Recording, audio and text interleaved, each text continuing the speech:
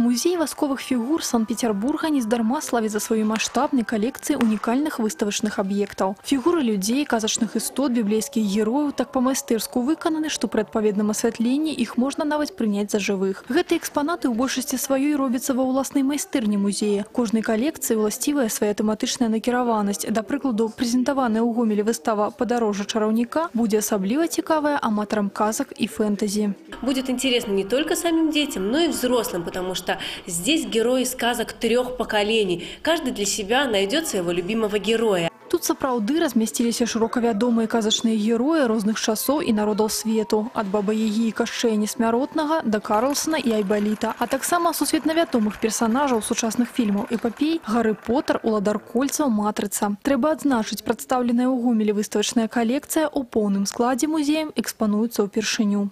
В этом составе выставка работает в Гомеле впервые.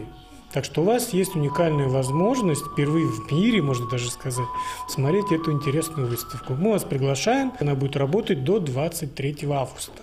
На выставе можно не только визуально ознакомиться с экспонатами, але и даведацца про их стварэнне. Для того, каб увасобіць у жыццё одну восковую фигуру, майстрам патрабуецца ад 6 до 9 месяцаў працы. Між тым васковымі гэтыя сучасныя выставачныя аб'екты называюцца даволі умоўна. Целы фігур робяцца з пластмасы. Для галавы і рук усё часцей выкарыстоўваецца сілікон. Над стварэннем адной фігуры, як правіла, працуюць прыкладна 5 розных спецыялістаў. Для афармлення твару экспаната выкарыстоўваюцца сапраўдныя чалавечыя зубныя і вочныя пратэзы. Самым карпатлівым вытворчым працэсам, што патрабуе ад майстра асаблівай сканцэнтраванасці, з'яўляецца праца з валасамі. Волосами занимается, как правило, женщины, потому что очень кропотливая операция. Специальность называется постижер. Так вот, представьте такую картину. У нее в руке пинцет, фен, кстати говоря, простой, обыкновенный, пучок волос и иголочка. Она берет фен, подогревает небольшую часть головы.